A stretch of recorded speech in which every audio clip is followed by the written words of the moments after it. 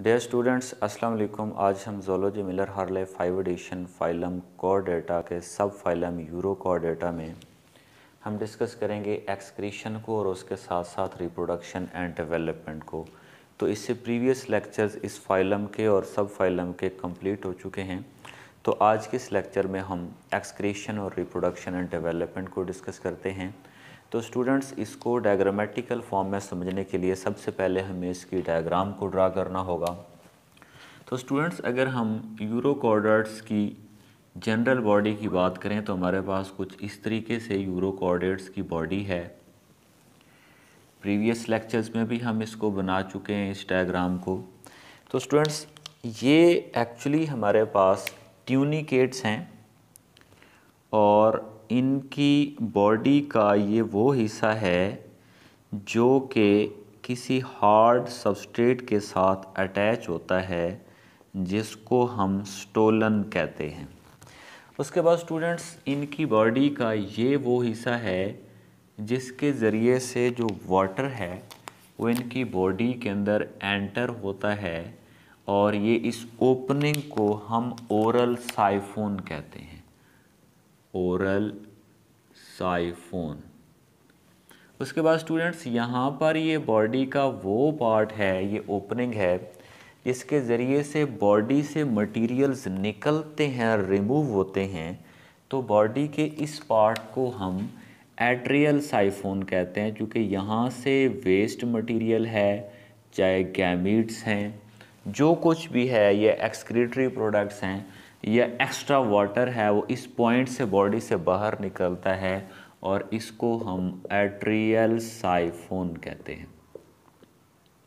अब स्टूडेंट्स देखना ये है कि जैसे ही यहाँ से इनकी ये ओरल साइफोन स्टार्ट होता है तो उसके बाद यहाँ से इसके अंदर एक और ओपनिंग आती है, जिसके ऊपर यहाँ पर टेंटेकल्स वगैरह प्रेजेंट होते हैं और ये वाली जो ओपनिंग है, ये एक्चुअल में ओपनिंग होती है फेरिंग्स की। तो डेफिनेटली स्टूडेंट्स पहली बात तो ये है कि जैसे खुराक इसके अंदर एंटर होगी तो इस फेरिंग्स के अंदर भी उसकी डाइजेशन का प्रोसेस शुरू हो जाता है। और यहाँ पर जो अमोनिया वगैरह प्रोड्यूस होता है, वो इस फेरिंग्स के ज़रिए से आगे लोप ऑफ़ डाइजेस्टिव सिस्टम में जाता है, जिसको हम इंटेस्टाइन कहते हैं। तो स्टूडेंट्स, ये हमारे पास एक्चुअल में इंटेस्टाइन है और यहाँ पर ये लूप है इंटेस्टाइन का और इस लूप ऑफ़ इंटेस्टाइन को हम स्टमक भी कहते हैं। तो ये एक्चुअली स्टूडेंट्स हमारे पास फेरिंग्स का रीजन है सारा। ये हमारे पास फेरिंग्स है। इस फेरिंग्स के अंदर भी मेटाबॉलिज्म का प्रोसेस शुरू हो जाता है। और यहाँ से भी एक्सक्रीटरी प्रोडक्ट्स जो होती हैं, वो यहाँ से प्रोड्यूस होती हैं और उसके बाद ये स्टमक है तो स्टमक के अंदर मज़ीद डाइजेशन होती है और ये हमारे पास इंटेस्टाइन है और ये इंटेस्टाइन की ओपनिंग जिसको हम एनस कहते हैं। तो इसके बारे में स्टूडेंट्स हमने देखना है, वो कहता है कि excretory products in urochordates is ammonia इनके अंदर जो प्रोडक्ट होती है एक्सक्रीटरी चूँकि हमें पता है कि डिफरेंट एनिमल्स के अंदर डिफरेंट किस्म की एक्सक्रीटरी प्रोडक्ट्स होती हैं।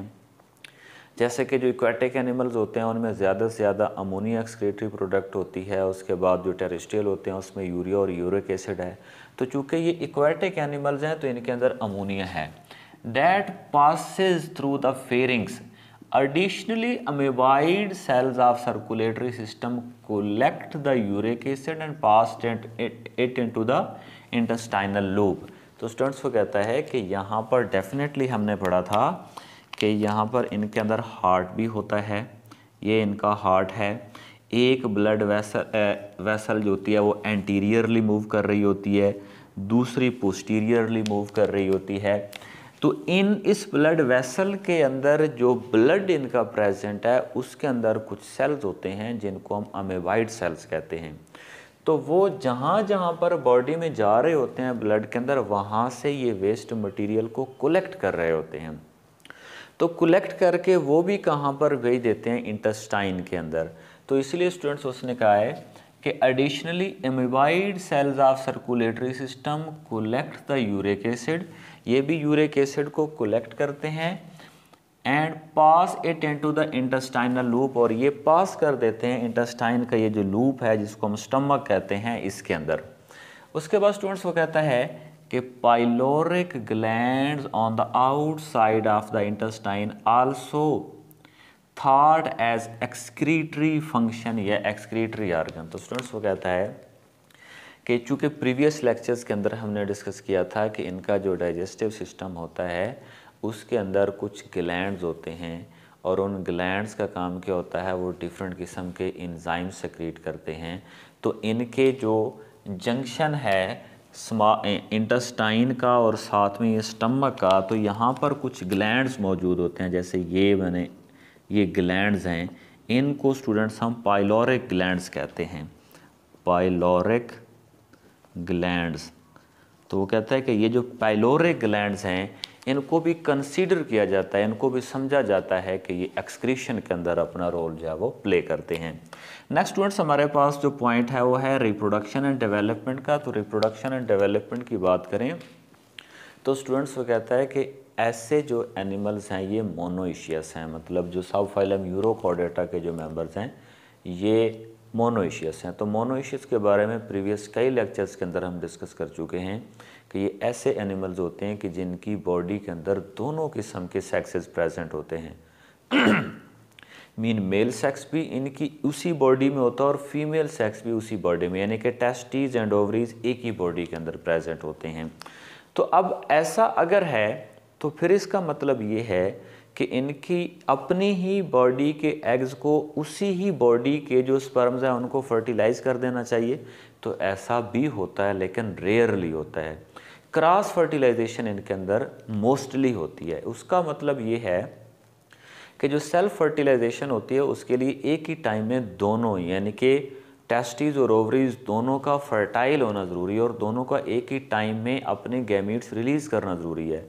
तो कभी कभार ऐसा हो जाता है कि एक ही बॉडी के अंदर टेस्टीज और ओवरीज एक ही टाइम में ओवरी एग रिलीज़ कर देती है और उसी टाइम में जो टेस्टीज हैं वो स्पर्म रिलीज़ कर देते हैं, जिससे इनके अंदर सेल्फ फर्टिलाइजेशन हो जाती है। लेकिन कॉमनली ऐसा होता है कि एक टाइम में जो टेस्टीज होते हैं वो स्पर्म रिलीज़ कर रहे होते हैं तो फिर फिर कुछ टाइम के बाद जो ओवरी होती है वो अपने एग रिलीज़ करती है, जिस वजह से सेल्फ फर्टिलाइजेशन नहीं हो सकती। तो फिर होता क्या है कि एक ऐसा यूरोकॉर्डेट जो एक टाइम में जिसमें जो स्पर्म बन रहे हैं, वो बॉडी से बाहर चले जाते हैं, किसी दूसरे एनिमल की बॉडी के अंदर एग्स बन रहे हैं तो वो भी एट्रियल साइफोन से बाहर चले जाते हैं तो बाहर एक्सटर्नल फर्टिलाइजेशन हो जाती है। तो इसका मतलब ये हुआ कि इनके अंदर सेल्फ फर्टिलाइजेशन भी होती है, क्रॉस फर्टिलाइजेशन भी होती है, इंटरनल फर्टिलाइजेशन भी होती है, एक्सटर्नल भी होती है। तो स्टूडेंट्स, इन तमाम चीज़ों को डिस्कस करते हैं, वो कहता है कि मोनोशियस होते हैं। मोनोशियस मीन ऐसे ऑर्गेनिज्म जिनकी बॉडी के अंदर दोनों सेक्सेस प्रेजेंट हों। वो कहता है कि gonads are at the loop of intestine तो इनके जो गुनेड्स होते हैं, वो कहाँ पर होते हैं? ये प्रीवियसली हमने पढ़ा था कि जो इनके लूप ऑफ़ इंटेस्टाइन होती है, उसी के अंदर यहाँ पर ये गुनेड्स होते हैं। और चूँकि ये दोनों सेक्सेस इनकी बॉडी में होते हैं तो यहाँ पर एक हम जो है, वो ओवरीज शुमार कर लेते हैं, इसमें से कंसिडर कर लेते हैं और एक को हम टेस्टीज़ तो इसको हम कंसिडर कर लेते हैं कि ये टेस्टीज़ हैं। ये हमारे पास क्या है? ओवरीज हैं। तो अब देखें कि ये टेस्टीज़ अगर क्या करे स्पर्म रिलीज़ करे, उसी टाइम में जब ओवरी रिलीज़ कर रही हो एग को तो फिर इनके अंदर सेल्फ फर्टिलाइजेशन हो सकती है। और अगर ऐसा हो कि ये जो टेस्टीज़ हैं ये एक टाइम में आ, मतलब स्पर्म प्रोड्यूस कर रहे हैं और ओवरीज टेस्टिस के स्पर्म के प्रोड्यूस करने के बाद अपने एग्स प्रोड्यूस कर रही है तो फिर इनके अंदर सेल्फ फर्टिलाइजेशन नहीं होगी फिर इनके अंदर क्रॉस फर्टिलाइजेशन होगी। अच्छा तो उसके बाद उसने कहा है कि जो इंटेस्टाइन ऑफ़ लूप में होते हैं genital opening open near the atrial siphon तो इनमें होता क्या है कि इसकी जो ओपनिंग्स हैं मतलब ये एक नाली के ज़रिए से इसमें से स्पर्म आएँगे और ये इंटेस्टाइन के साथ साथ जो एट्रियल साइफोन है, उसके करीब जाकर ये नाली ओपन होगी। तो सेम इसी तरीके से ये जो ओवरी है, इसकी जो अपनी नाली होगी, एग को रिलीज़ करने के लिए, जिसको हम फ्लूपियन ट्यूब या जो फ्लूपियन ट्यूब या ओविडक्ट कहते हैं, ये भी कहाँ पर ओपन होती है, जाकर एट्रियल साइफोन के करीब। तो अगर ऐसा हो कि फर्टिलाइजेशन इंटरनल होनी है तो यहाँ से स्पर्म और यहाँ से एग ये यहीं पर फर्टिलाइज कर देंगे और फर्टिलाइजेशन इंटरनल ही हो जाएगी। और समटाइम ऐसा होता है कि ये दोनों बाहर निकल जाते हैं और एक्सटर्नल फर्टिलाइजेशन होती है। तो मोस्टली एक्सटर्नल फर्टिलाइजेशन यानी बाहर वाले इन्वायरमेंट में हो जाती है और सम टाइम इनकी बॉडी इसी एट्रियम के अंदर ही इंटरनल फर्टिलाइजेशन हो जाती है। Gametes are shedded from the gonads and retain in the atrium for internal fertilization वो कहता है कि जो गैमेट्स होते हैं, या अपने जो अगर एग हैं तो डेफिनेटली यहाँ पर ये एग्ज़ हैं जिसने रिलीज़ कर दिए हुए हैं।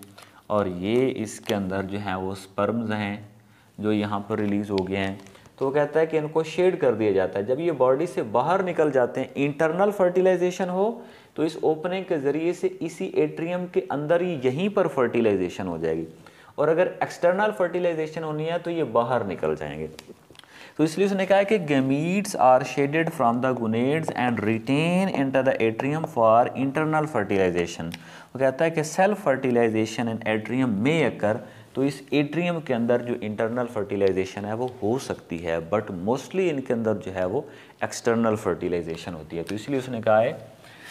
अच्छा उसके बाद नेक्स्ट स्टूडेंट्स वो कहता है कि सेल्फ फर्टिलाइजेशन में अकर सेल्फ फर्टिलाइजेशन भी एट्रियम में हो सकती है, लेकिन इनके अंदर जो क्रॉस फर्टिलाइजेशन है, वो ज़्यादातर होती है। सो डेट्स वाई उसने कहा है कि but cross fertilization is the rule कि जो क्रॉस फर्टिलाइजेशन है वो इनके अंदर ज़्यादा से ज़्यादा होती है। नेक्स्ट स्टूडेंट्स वो कहता है कि इनमें एक्सटर्नल फर्टिलाइजेशन कैसे होती है? तो आसान सी बात है कि gametes are shedded from atrial siphon for external fertilization तो ये जो हमारे पास एट्रियल साइफून है, इसके ज़रिए से जो स्पर्म्स होंगे, इससे यहाँ से निकल जाएँगे, ऐसे स्पर्म्स निकल गए हैं। और एग्स भी इसमें से बाहर निकल जाएँगे तो जो इन एक्सटर्नल इन्वायरमेंट होगा, वहाँ पर ये एक दूसरे को फर्टिलाइज करेंगे और वहाँ पर जाइगोट बन जाएगा। तो जाइगोट बनने के बाद क्या होगा, उसको भी हम देखते हैं। स्टूडेंट्स वो कहता है कि डेवलपमेंट कैसे होती है? यानी कि जाइगोट जब बन जाता है तो फिर आगे इसमें से जो एनिमल बॉडी है, उसकी ग्रोथ कैसे होती है? वो कहता है कि after the fertilization zygote form that converted into a tadpole like larva तो सबसे पहली चीज़ स्टूडेंट्स को कहता है कि हमारे पास क्या होगा कि ये मिसाल के तौर पर हमारे पास एग है, इसको यहाँ पर जो स्पर्म है, उसने फर्टिलाइज़ कर दिया है तो इसके नतीजे में क्या होगा कि यहाँ पर जाइगोट बन जाएगा और ये जो जाइगोट होगा, ये डिप्लाइड होगा और उसके बाद एक टैडपोल लाइक लार्वा बन जाएगा। इस तरीके से ये टैडपोल लाइक लार्वा बन गया हमारे पास। अब स्टूडेंट्स को कहता है कि ये देखें, ये तो फर्टिलाइजेशन है स्पर्म एग मिला जाइगोट बना जाइगोट के बाद टैडपोल लाइक लार्वा बना।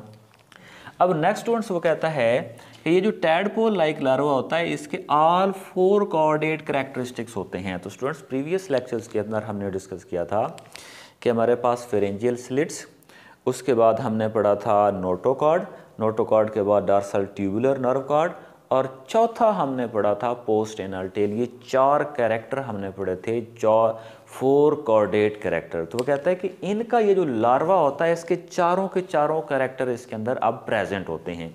यानी कि इस टैडपोल लाइक लार्वा के अंदर फ्रेंजियल स्लिट्स भी होंगी, इसी टैडपोल लाइक लार्वा के अंदर जो है वो नोटोकॉर्ड भी प्रेजेंट होगा, जो कि सपोर्टिव स्ट्रक्चर होती है।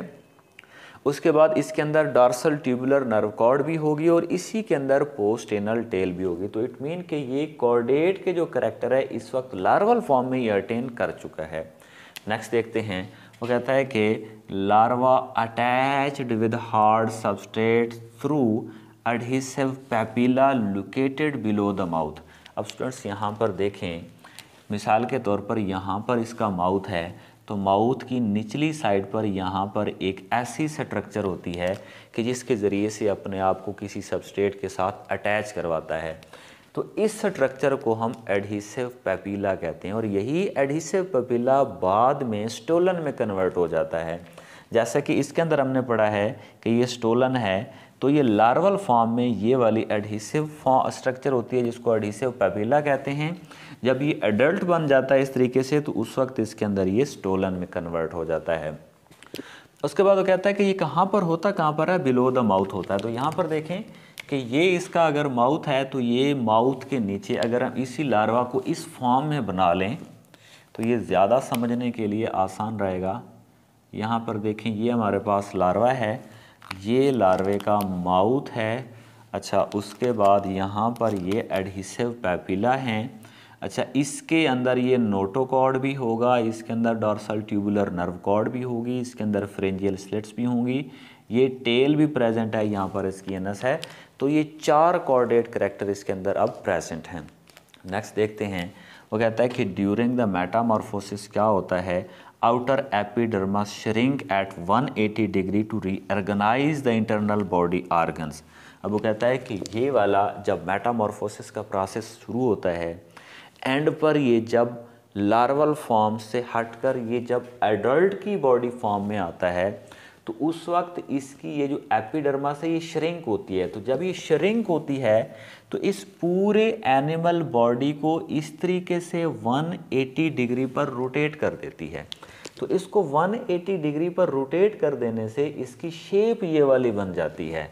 तो इसीलिए उसने कहा है कि during the metamorphosis outer epidermis shrink at 180 degree to reorganize the internal body organs and take the oral and atrial siphon close to each other. अब यहाँ पर देखिए स्टूडेंट्स कि यहाँ पर तो डेफिनेटली अगर ओरल साइफोन है तो यहाँ पर माउथ के करीब होगा, यहाँ पर एट्रियल साइफोन होगा, जो कि एक दूसरे के अपोजिट हैं, लेकिन जो इनकी एपिडर्मस जिसको श्रिंक करके रोटेट करवा रही है तो उसके डाइजेस्टिव सिस्टम को भी यू शेप बना रही है, और ओरल साइफोन को एट्रियल साइफोन को मूव करवाकर ओरल साइफोन के करीब लेके आ रही है। यहाँ पर जो माउथ हम देख रहे हैं एक्चुअल में ये ओरल साइफोन है। उसके बाद क्या होता है कि siphon close to each other oral siphon now position opposite to adhesive papilla अब यहाँ पर देखें ना स्टूडेंट्स कि ये वाला जो ओरल साइफोन है ये वाला ओरल साइफोन है ये आ, हमारे पास जो है ये एडिसिव पेपिला है तो ये इस तरीके से मूव करके आ जाता है कि ये दोनों एक दूसरे के अपोजिट आ जाते हैं। मतलब इस तरीके से ये यहाँ पर माउथ है, ये यहाँ से मूव करके एट्रियल साइफोन यहाँ पर आ जाता है। तो इन दोनों की अपोजिट में ये आ गया एडिसिव पेपिला जो बाद में स्टोलन में कन्वर्ट हो जाएगा। तो इसकी बॉडी किस तरीके से कन्वर्ट होगी स्टूडेंट्स और अडल्ट बॉडी फॉर्म में आ जाएगी। और अडल्ट बॉडी फॉर्म ये हमारे पास ऑलरेडी से मौजूद है। कि ये इस तरीके से ये इनकी बॉडी बन जाएगी। यहाँ पर देखें, ये इसका ओरल साइफून, ये इसका एडिसिव पेपिला जो कि इसके अपोजिट में आ जाएगा, ये इसका एट्रियल साइफून बन जाएगा। तो इसका जो इंटरनल डाइजेस्टिव सिस्टम है, वो इस तरह से यू शेप में आ जाएगा। तो इसलिए उसने कहा है कि oral siphon, now position opposite to adhesive papilla. And digestive tract become U shape और इसका जो डाइजेस्टिव ट्रैक है वो यू शेप में आ गया। तो स्टूडेंट्स आज के इस लेक्चर के अंदर हमने सब फाइलम यूरोकोडेटा में एक्सक्रीशन को डिस्कस किया है यूरो रिप्रोडक्शन एंड डेवलपमेंट को डिस्कस किया है, इसके अंदर इंटरनल फर्टिलाइजेशन और एक्सटर्नल फर्टिलाइजेशन को डिस्कस किया है।